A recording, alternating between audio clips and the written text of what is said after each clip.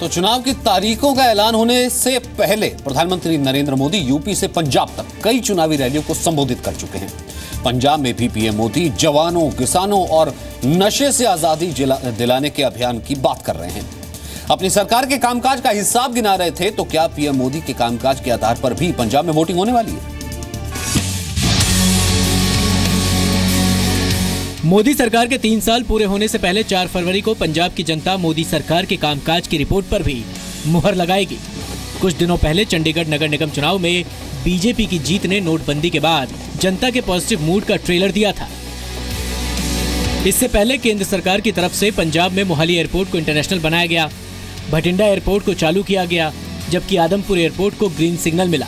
पंजाब चुनावों में अप्रवासी भारतीयों का अहम रोल है। उनके लिए योजनाएँ घोषित करके पीएम मोदी अब प्रवासी भारतीयों के पसंदीदा बन गए हैं।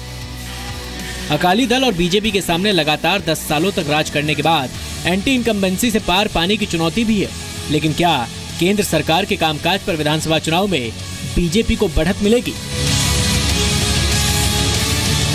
काम अच्छा हुआ है। अगर पंजाब का देखा जाए तो ये जो अकाली राज है इसमें काफ़ी विकास हुआ है। पंजाब का काफ़ी अच्छे रोड्स बने। नोटबंदी का मुद्दा भी थोड़ा रहेगा लेकिन ज़्यादातर विकास की बात ही होगी पंजाब में। तो हम लोग विकास देख रहे हैं कितना विकास हुआ है और किस पार्टी ने किया उसी हिसाब से वोट देंगे। चंडीगढ़ से रविंदर और अमृतसर से राजन गोसाई के साथ ब्यूरो रिपोर्ट जी मीडिया।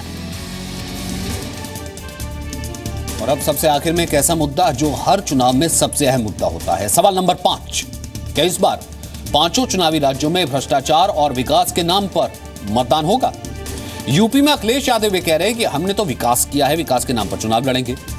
बीजेपी कह रही है कि वो विकास के मुद्दे पर चुनाव लड़ेगी और समाजवादी पार्टी के भ्रष्टाचार को हटाने के लिए वो चुनाव लड़ेगी लेकिन यूपी की जनता क्या कह रही है, जानना ज़रूरी है। क्या भ्रष्टाचार का मुद्दा तय करेगा 11 मार्च को यूपी का रिज़ल्ट? रोज़ाना भ्रष्टाचार से जूझ रहे लोगों को किस तरह पार्टी और सरकार की कोशिशों से राहत मिली है? भ्रष्टाचार के महत्वपूर्ण मुद्दे पर जवाब जानने के लिए जनता दरबार में पहुँची जी न्यूज़ की टीम।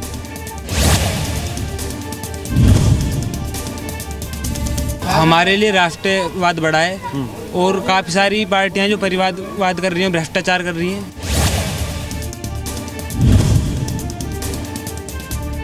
क्योंकि जनता अब जागरूक हो गई है और विकास चाहती। है लखनऊ से विशाल पांडे, गाजियाबाद से अश्विनी कुमार गुप्ता, नोएडा से पवन नारा, वाराणसी से अमित सिंह के साथ ब्यूरो रिपोर्ट, जी मीडिया।